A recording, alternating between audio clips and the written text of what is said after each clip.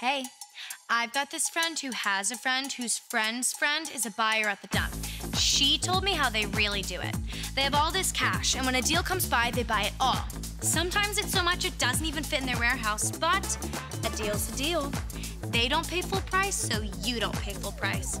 So then these savvy shoppers swoop in on Friday and get first dibs on the best stuff. Be bold, be brave.